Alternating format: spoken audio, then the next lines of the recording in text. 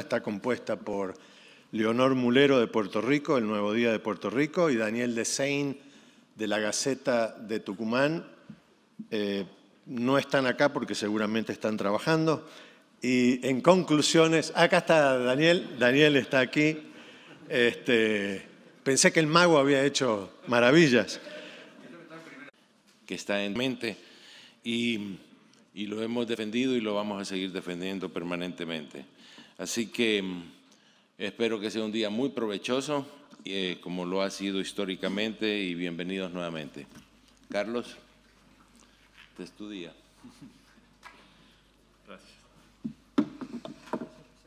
muchas gracias, presidente. Buen día para todos. Como dice Jorge, hoy es el día en que nos abocamos analizar los temas que más nos preocupan, los temas de libertad de prensa en el continente. Y, el informe de hoy no va a ser un, buen informe, como saben, porque estamos viviendo situaciones realmente preocupantes. Como ya se, recordó en esta asamblea, el pasado 7 de este mes se cumplieron tres años de la última vez que sesionamos en modo presencial, pero además el miércoles de esta semana, hace solo dos días, se cumplieron mil días de cuando la Organización Mundial de la Salud declaró que el COVID-19 era una emergencia sanitaria internacional. Eso fue el 30 de enero de 2020 y 40 días después, el 11 de marzo de 2020, el mundo se sumergía en la pandemia. Desde entonces lamentamos millones de muertos, cuarentenas que aún afectan la economía mundial, un cambio quizá irreversible en el modo de relacionarnos en lo laboral y en lo académico. En paralelo, la ciencia y la tecnología consiguieron avances significativos, como desarrollar vacunas en tiempo récord y permitirnos trabajar a distancia como nunca habíamos imaginado. Pero junto a estos logros, afrontamos hechos deleznables que se tradujeron en retrocesos también inimaginables. Mientras miles de personas trabajaban para recuperar la esperanza, hubo quienes aprovecharon la tragedia para delinquir, para consolidar regímenes autoritarios. Situaciones similares se vivieron en todo el mundo, pero en América, en nuestra América, la pandemia desató una ola de violencia y represión que tiene a la prensa como uno de sus objetivos prioritarios. En estos mil días, el crimen organizado asesinó a más de 70 periodistas, en muchos casos con la complicidad y casi siempre con la desidia de gobiernos y fuerzas de seguridad. Y lo que es peor, con un vil de impunidad que actúa como aliciente para la violencia brutal. En 2020, los colegas caídos fueron 25, pese a que el mundo se había paralizado durante largas semanas. En 2021, mientras se retomaba la normalidad, los asesinatos terminaron con la vida de 13 periodistas. Y en este 2022 la ola de violencia fue ya imparable. En los menos de 10 meses transcurridos hasta hoy, son 38 los comunicadores silenciados por ataques que en su enorme mayoría aún no son esclarecidos. Y suman 40 desde nuestra asamblea de octubre de 2021, 21 de ellos en México. Y si contamos desde nuestra reunión de abril, las 25, 11 de los cuales fueron en México. Como alertamos desde el comienzo del año, la situación es crítica en ese país. La violencia contra la prensa parece no tener freno ante la pasividad de los gobiernos estaduales y de la Administración Federal y por la ineficacia de los mecanismos de protección. Un repaso por algunas gráficas nos muestra la patética realidad de ejercer el periodismo bajo, bajo fuego. La primera que estamos viendo nos muestra la cantidad de colegas abatidos o desaparecidos en México desde 1987. En los últimos 36 años, con sexenios de relativa contención de la violencia y una aceleración, como ven, a partir de 2006. Veamos las cifras. En los 2.190 días de gobierno de Felipe Calderón hubo 59 periodistas asesinados. En los 2.190 días de Enrique Peña Nieto, 48 muertos. Y en la gestión actual, 52 asesinatos, cerca del récord de Calderón, pero, un dato, en apenas 1.384 días, ya que aún falta más de un tercio del mandato de Andrés Manuel López Obrador. En esta otra gráfica vemos cómo sobre 660 comunicadores asesinados en 36 años, México supera por un tercio la cifra de muertos de Colombia y triplica la de Brasil los otros dos países que padecen el flagelo de la inseguridad para la prensa. Una tercera gráfica, perdón, expone los 660 muertos año por año, donde 2022, como están viendo, se acerca ya al récord histórico de 1989 y duplica el promedio del periodo. Con un detalle, esta gráfica la hice hacer a principios de octubre y pese a que la fui actualizando en algunos casos, hoy está tres eh, números por debajo de la cifra actual. Como les decía recién, 38, ahí tenemos 35. Lamentablemente, los asesinatos se siguen produciendo semana tras semana. Dejo para el final, y como fondo de estas palabras, la contundencia de esta imagen. 613 periodistas varones y 47 mujeres abatidos en 36 años y solo un 9% de casos esclarecidos, lo que revela la otra cara de la tragedia, la alta tasa de impunidad que termina incentivando la violencia criminal. 660 personas para tomar dimensión de esta tragedia, imaginen que en cada asiento de este salón hay una persona sentada. ¿Lo imaginaron? Salón repleto de público. Imaginen ahora un salón igual a este, también repleto. Y otro salón. Y otro. Y un quinto salón. A eso equivale esta cifra. A cinco sesiones como estas a sala llena. Por ello, este año hemos querido simbolizar el compromiso de la CIP en la lucha contra la inseguridad que afecta a medios y periodistas.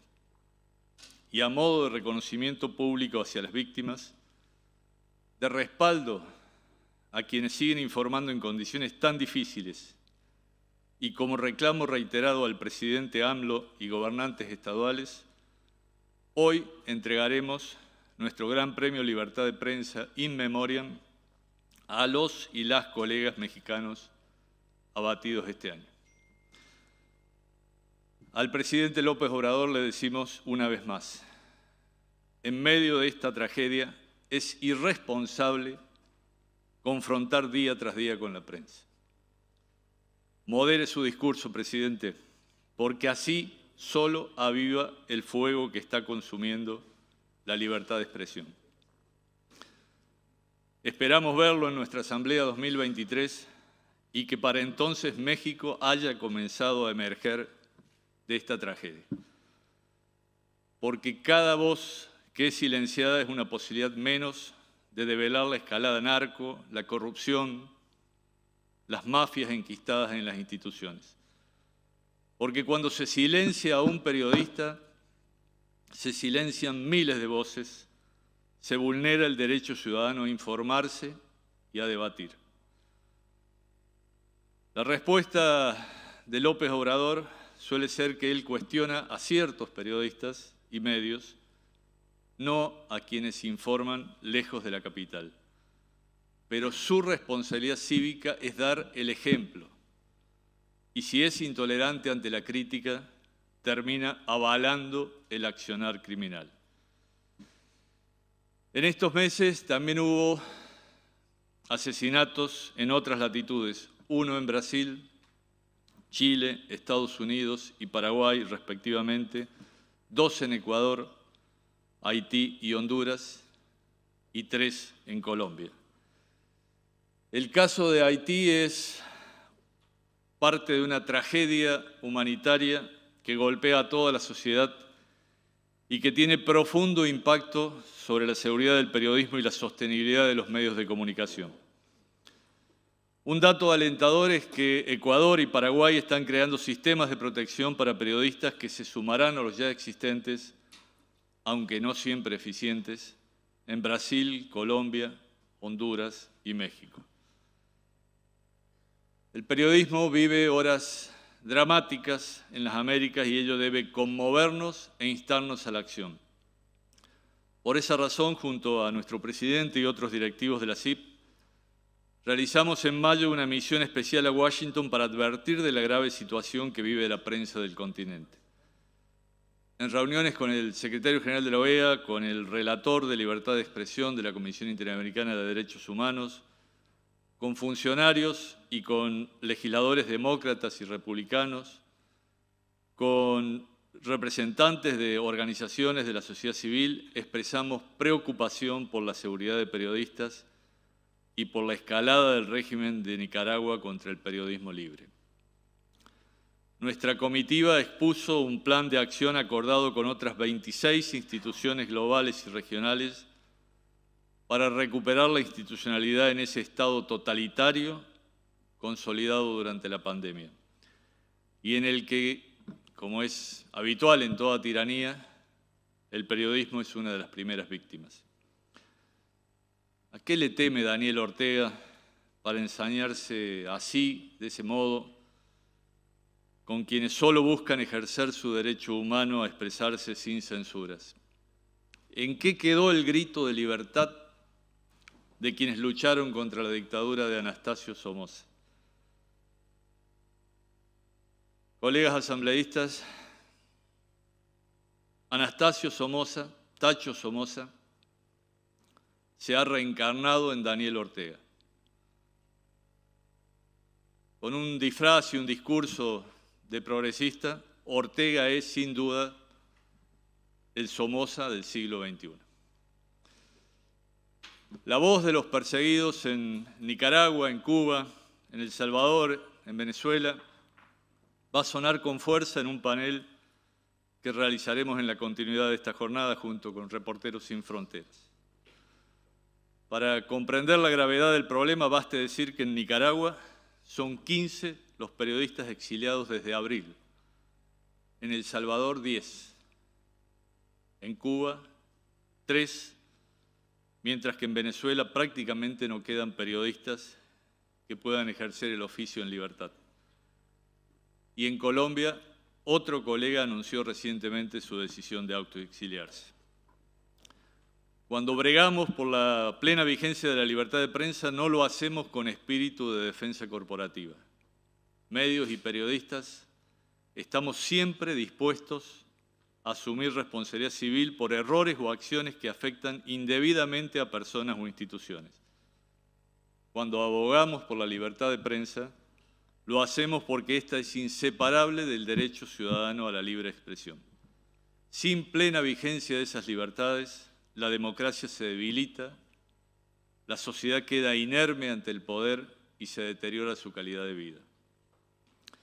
Esta tarde, cuando presentemos la edición 2022 del índice Chapultepec, vamos a mostrar la correlación que hay entre el aumento de las restricciones al trabajo periodístico y el crecimiento de la corrupción, la caída del Producto Bruto Interno y la pérdida de competitividad. Pero autócratas de todo signo ideológico apelan al acoso judicial para amedrentar a la prensa.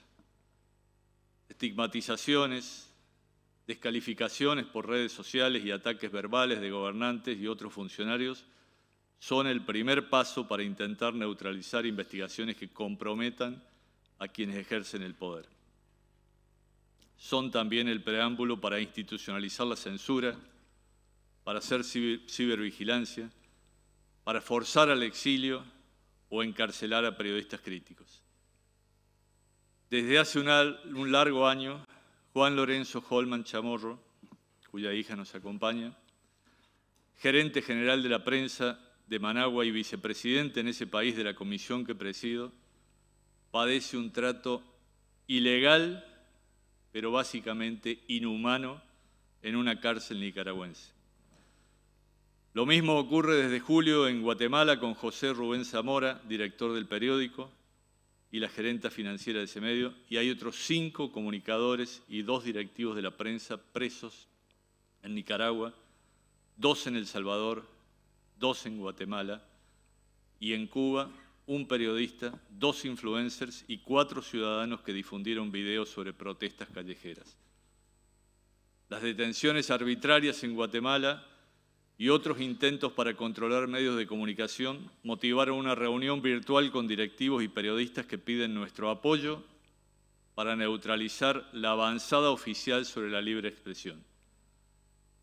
Un planteo similar recibimos de medios peruanos por los condicionamientos del gobierno de Pedro Castillo al trabajo periodístico. Lo preocupante es que la política de denigrar a la prensa de limitar el acceso a la información pública suele ser además una luz verde para la violencia física, los ataques callejeros y en circunstancias extremas los homicidios del personal de prensa. Los casos se replican en Ecuador, en El Salvador, en Brasil, Argentina, Colombia, Bolivia, Costa Rica. El desafío de un buen líder democrático, de un estadista, es convencer, no vencer, persuadir, no someter, enmendar errores, no disimularlos u ocultarlos para que la prensa no cuestione su gestión. Hace unas semanas me consultaban si la prensa de las Américas vive hoy su momento más crítico. Y respondí que no, si comparamos el contexto actual con la época de las dictaduras militares del siglo pasado. Pero si centramos el análisis en lo que va de este milenio, sin duda vivimos la época más crítica. Es cierto que en la primera década de esta centuria coincidieron gobiernos que confrontaron duramente al periodismo, como los de Hugo Chávez en Venezuela, los Kirchner en Argentina, Rafael Correa en Ecuador, Evo Morales en Bolivia. La diferencia está en que ahora coinciden regímenes aún más duros que aquellos que ahogan toda expresión de periodismo libre, como los de Cuba, Nicaragua, Venezuela, con gobiernos que se proclaman democráticos pero descargan presiones de todo tipo sobre la prensa, mientras ésta padece una ola de ataques y asesinatos en su mayoría impunes. Y esto ocurre además cuando los medios de comunicación afrontan cambios acelerados y una competencia global que, ante la pasividad de los estados, extiende la desertificación informativa de un extremo al otro del continente. Para cerrar, permítanme una alusión a mi país. En Argentina, cada 7 de junio se celebra el Día del Periodista y es en homenaje al, primer periódico patrio. La Gaceta de Buenos Aires llevaba en su portada esta muy vigente frase de Tácito. Rara felicidad la de los tiempos en que es lícito sentir lo que se quiere y decir lo que se siente. Lamentablemente, en vastas zonas de las Américas, estos no son tiempos felices, sino tenebrosos tiempos plagados de nubarrones que presagian tormentas de intolerancia, vendavales de autoritarismo, torrentes de censura y persecuciones.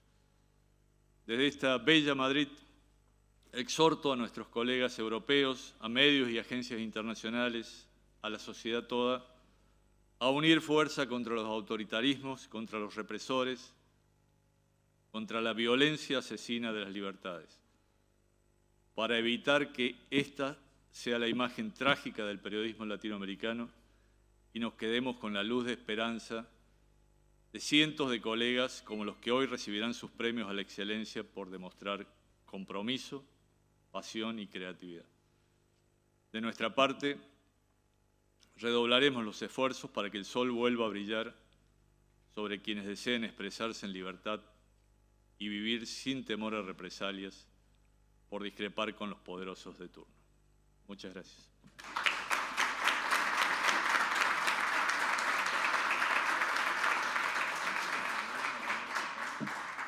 Muchas gracias, Carlos. Y tal como lo había anunciado el presidente Jorge Canaguati, invitamos ahora a Renata Holman.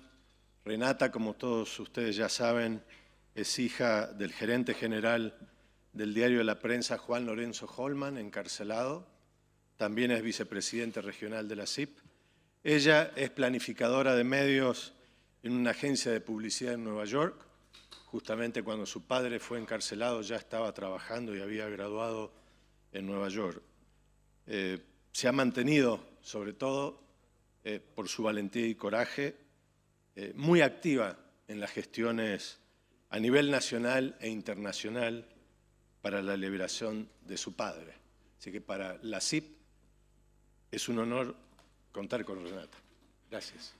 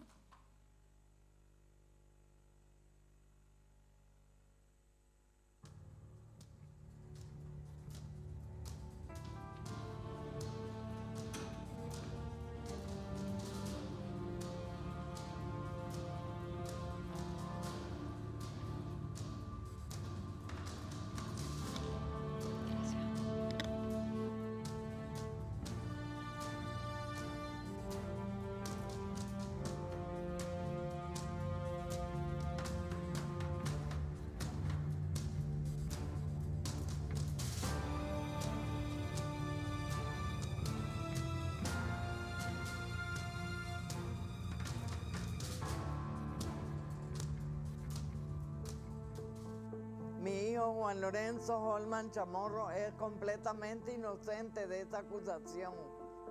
El único eh, delito de Juan Lorenzo es defender la libertad de expresión.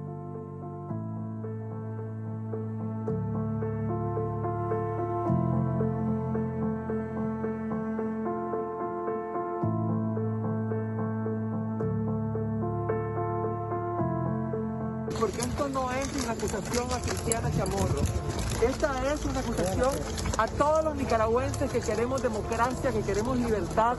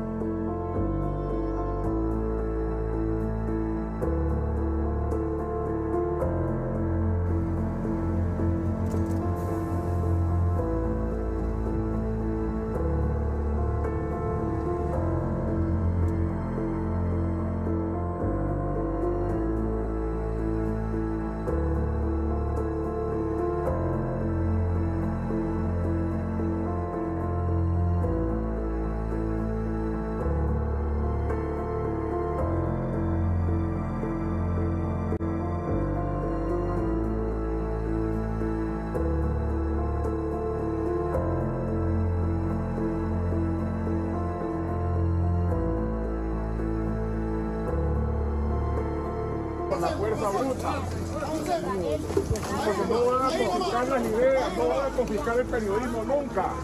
No van a impedir que la prensa libre siga informando y lo, y lo siga retratando a ustedes ante, ante los nicaragüenses y el mundo.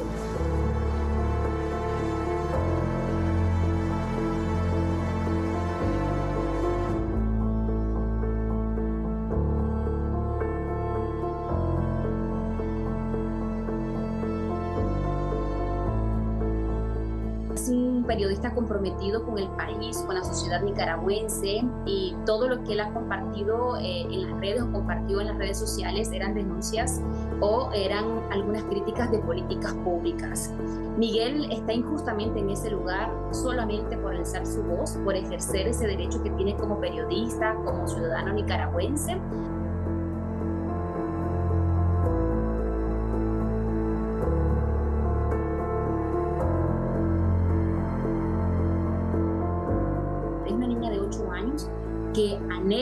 un abrazo de su padre, que necesita el calor, el amor de su padre. Único delito o de único pecado es salir a trabajar, de, de buscar el pan de cada día para su familia.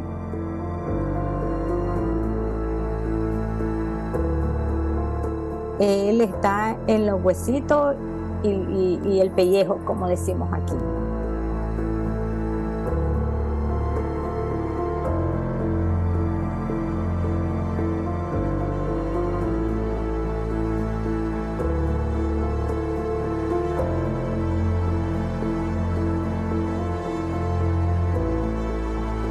Mi mayor anhelo es que ya le den, la libertad a todos, a todos, porque esto, esto es doloroso.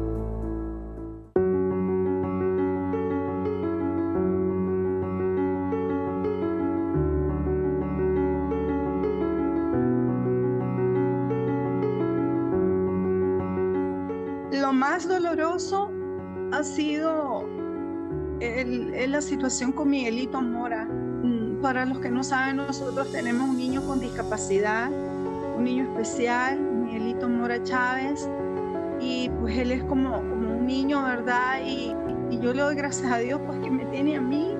No hay un día, no hay un momento en que Miguelito no llame a su papá y no llore por su papá.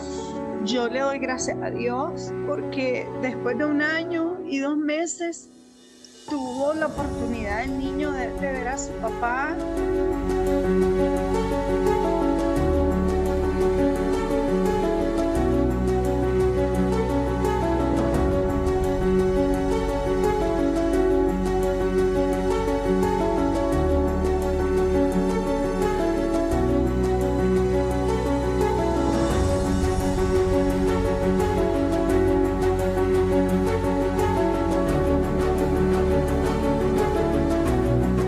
Porque si defendemos la libertad de prensa, defendemos todas las demás libertades aquí en Nicaragua.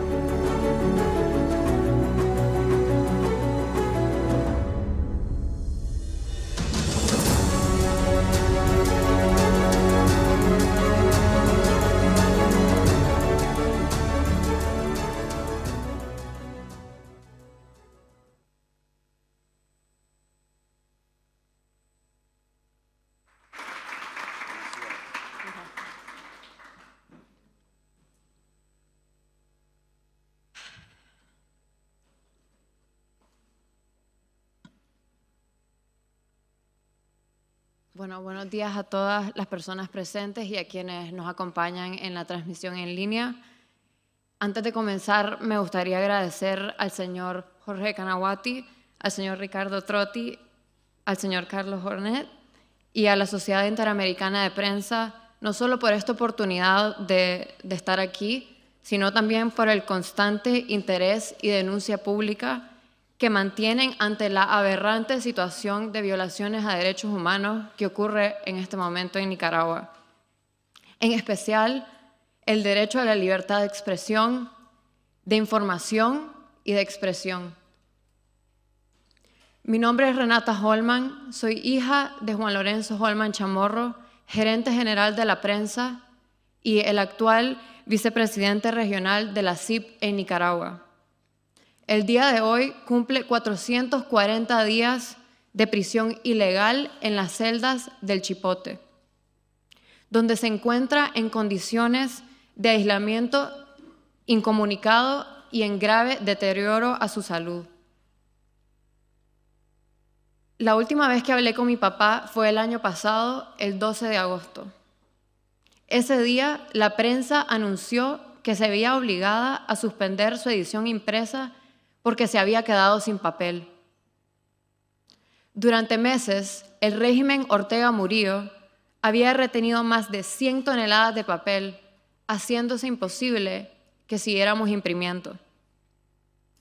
Mi papá estaba tenso, pero confiado que no habría nada que temer.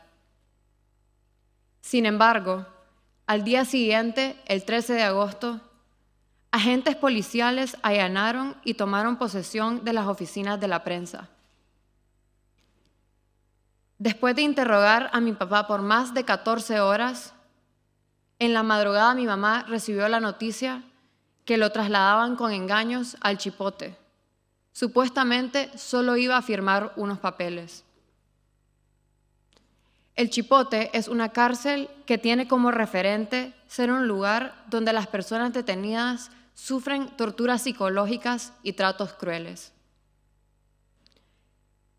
La mañana siguiente, el régimen anunció que la detención de mi papá se debía por el supuesto delito de lavado de dinero. En marzo de este año lo declararon culpable y lo sentenciaron a nueve años de cárcel, mas le dieron una multa millonaria en un juicio arbitrario que se dio a puertas cerradas y plagado de irregularidades. Los derechos de mi papá han sido violados continuamente. Durante los últimos 440 días lo han mantenido aislado e incomunicado, con la excepción de las escasas visitas que se le han permitido a mi familia. Desde finales de agosto, hace ya más de 60 días, no hemos sabido nada de él, ni de su estado de salud, el cual se ha visto severamente afectado por las condiciones inhumanas de las celdas en que lo mantienen. Espacios pequeños de dos por dos metros, celdas selladas con moho en las paredes ante la falta de ventilación y de luz, mala alimentación y lo más alarmante, una falta de atención médica oportuna y especializada. En estas condiciones también se encuentran la mayoría de los más de 209 presos políticos en Nicaragua. Se encuentran en las celdas del Chipote y demás cárceles del sistema penitenciario, en donde se les aplican torturas catalogadas por expertos como tortura blanca, mediante la cual se busca quebrantar el espíritu de todas las personas presas políticas. No se les permite material de lectura, ni siquiera una Biblia. No pueden recibir, ni, no pueden escribir ni recibir cartas. Y no se les ha concedido ni una sola llamada telefónica, haciéndose imposible comunicarse con sus familiares, en especial los que se encuentran fuera de Nicaragua, como es mi caso. La salud de mi papá ya era delicada antes de su detención Tres meses antes de su secuestro había regresado al país después de una operación complicada de corazón, de la cual apenas se estaba recuperando. Además, es hipertenso, padece de la próstata, ha sido operado en ambos ojos por desprendimiento de retina y se le descubrió un problema severo en la aorta que debe ser monitoreado constantemente. En el chipote ha desarrollado nuevos padecimientos debido a las condiciones carcelarias en las que lo mantienen. Dificultades para caminar, lo que asumimos se debe a una hernia inguinal, una mancha negra en el ojo derecho, hongos en las manos y pies y a veces dificultad para respirar.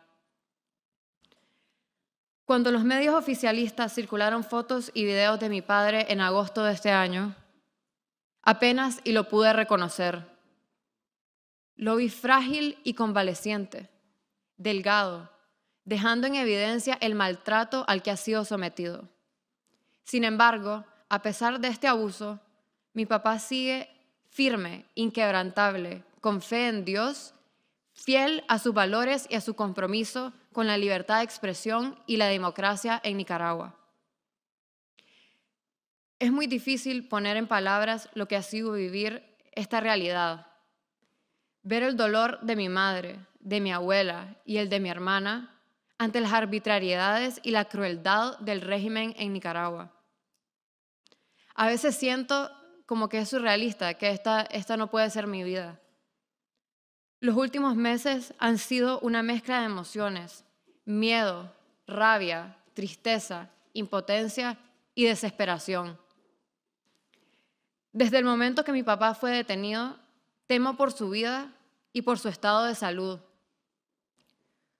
Sus padecimientos crónicos, más los nuevos que ha desarrollado y la falta de atención médica, representan una bomba de tiempo y una amenaza a su integridad a su vida. Por eso vivo con la angustia de no volver a verlo, de que muera confinado en las celas del chipote a pesar de su inocencia. También temo por la seguridad del resto de mi familia que sigue en Nicaragua. Un temor que se ha agravado ahora que la dictadura se está ensañando en contra de familiares de prisioneros y de opositores que se han ido al exilio. Temo no poder volver nunca a mi país, a mi casa. Todos los días me duele el corazón por mi papá y por los más de 200 nuevos presos políticos. Comparto el dolor de sus familias y el dolor de Nicaragua entera, porque los nicaragüenses nos encontramos también en una inmensa cárcel. No tenemos el derecho a opinar ni de expresarnos libremente. Los familiares también vivimos en estado de tortura permanente al ver el deterioro severo de salud de nuestros familiares y ser testigos de lo que parece ser una condena a muerte en cámara lenta. Sin embargo, junto al temor, también siento un gran orgullo por la valentía de mi papá, por su fe en Dios, su honestidad, su determinación, su compromiso con los valores cívicos y democráticos, su voluntad de mantenerse firme a pesar de los inimaginables abusos que ha tenido que, vivir. Vivo aferrada a este orgullo. Esto es lo que me hace seguir adelante cada día, lo que me inspira a alzar la voz y lo que mantiene viva mi esperanza de que prevalecerá la justicia y la verdad. El caso de mi padre no es único es un eslabón más en el juego del régimen Ortega, que, eh, perdón, es un eslabón más en el juego que el régimen Ortega Murillo ha impuesto a Nicaragua para sepultar las libertades públicas. La situación se agravó después de la crisis sociopolítica de abril 2018, de la cual Ortega culpa a los periodistas de participar en un fallido golpe de Estado. Al igual que con mi papá, los Ortega Murillo acusaron del mismo delito de lavado de dinero a la extinta Fundación Violeta Barrios de Chamorro en marzo de 2021 que por más de 20, después de más de 20 años de promover la democracia, las libertades públicas y la excelencia del periodismo nacional, el régimen forzó el cierre de la fundación. Mis tíos, Cristiana y Pedro Joaquín Chamorro Barrios, directores de la fundación y también de la prensa, están ahora bajo arresto domiciliario desde hace más de 500 y 480 días. Ellos fueron sentenciados a 8 y 9 años de prisión. Su hermano, Carlos Fernando Chamorro, también periodista y director de dos prestigiosos canales informativos Confidencial y Esta Semana, fue perseguido y forzado al exilio el año pasado. También se encuentran detenidos ilegalmente en el Chipote Walter Gómez, gerente administrativo, Marcos Fletes, contador, y Pedro Vázquez, conductor personal de Cristiana Chamorro, todos condenados por el delito de lavado de dinero y todos sentenciados a de 7 a 13 años de prisión. El resto del personal de la fundación se vio forzado al exilio para resguardar su integridad física. Igualmente, la doctora Orieta Benavides, la abogada defensora de la fundación y quien también era abogada de mi papá, se exilió junto a su familia después de que la suspendieran como abogada y la amenazaran con cárcel por haber defendido con excelencia a los acusados. En Nicaragua no existe la libertad de prensa. Los periodistas y cualquier persona que quiera ejercer su derecho a informar tienen dos opciones, exilio o cárcel. Esto ha generado una ola de éxodo que hoy día llega a 160 periodistas en el exilio y otros tres periodistas presos injustamente. Miguel Mora, exdirector del canal 100% Noticias, encarcelado por segunda vez desde hace 494 días. Miguel Mendoza, cronista deportivo, encarcelado y condenado desde hace 43, 493 días por emitir opiniones políticas a través de su cuenta de Twitter. Ambos han sido privados de su derecho a recibir visitas regulares de sus hijos menores de edad o con discapacidad. Miguel Mendoza se encuentra actualmente en huelga de hambre, arriesgando su vida para reclamar ese derecho. Semanas atrás, Miguel Mora hizo lo mismo, logrando le permitieran por fin ver a su hijo Miguelito por primera vez. Actualmente, tanto a la prensa como los medios independientes, Confidencial, 100% Noticias y Trinchera de la Noticia, están confiscados de facto y han sido convertidos en centros de ministerios públicos. Hasta la fecha, el gobierno también ha ordenado la cancelación de licencias de operación de al menos 51 medios radiales y televisivos, incluyendo medios de la Iglesia Católica.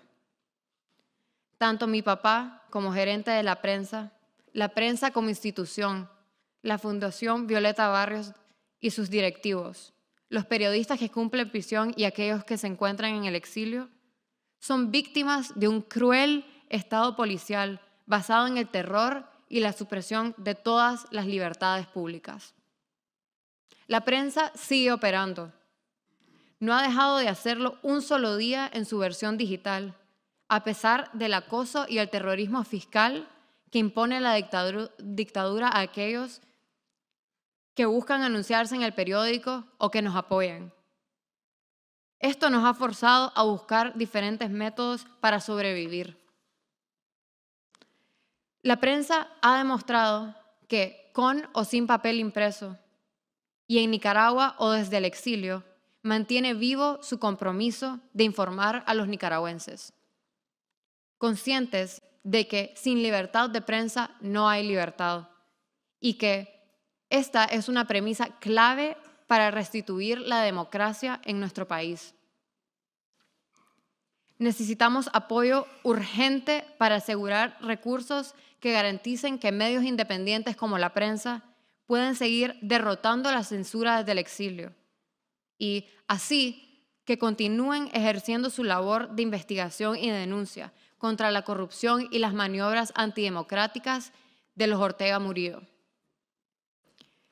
En representación de mi padre, mi familia, la prensa y los nicaragüenses, me atrevo a hacer un llamado a la prensa libre e independiente del continente americano a que no se olviden de Nicaragua, de cada uno de los presos políticos, de sus familias, que el sufrimiento, el sufrimiento y la lucha que hemos venido sobrellevando por más de un año, que no sea noticia de ayer. Yo les pido una vez más de todo corazón a mantener presente la causa humanitaria de los, de los presos y las presas políticas y a presionar por su libertad inmediata. Todos son inocentes. Les pido que nos ayuden a que se oiga nuestra voz más allá de las fronteras que cada uno de ustedes acá presentes sean eco de nuestras justas demandas por la libertad y la justicia, que sean nuestra voz en América y en todo el mundo. No dejaremos de alzar la voz en cada espacio que nos sea permitido. Acompáñenos siempre en esta lucha que es nuestra, pero que también es por la democracia, la libertad de prensa, la libertad de información, valores fundamentales no solo para la democracia en Nicaragua, sino también para la democracia en toda América. Muchas gracias.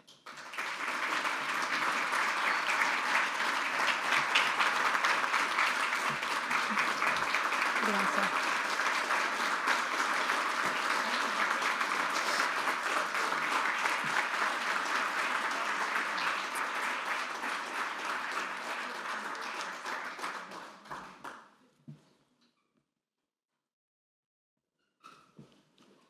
Gracias, Renata. El presidente Jorge Canaguati va a cerrar este acto.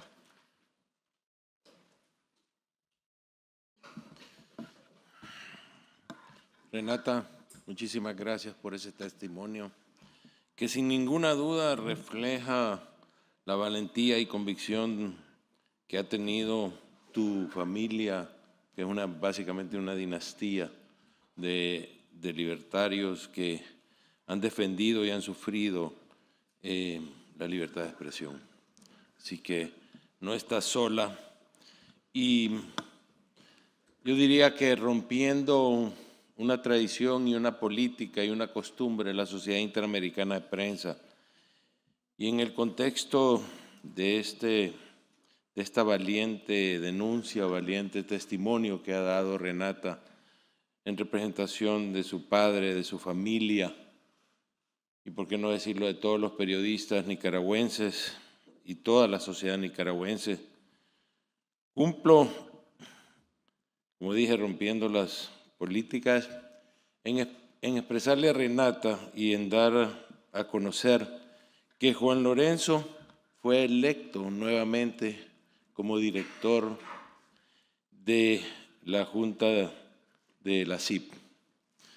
Ha sido el más votado de toda la historia y es sin duda el primer persona electa en bajo prisión.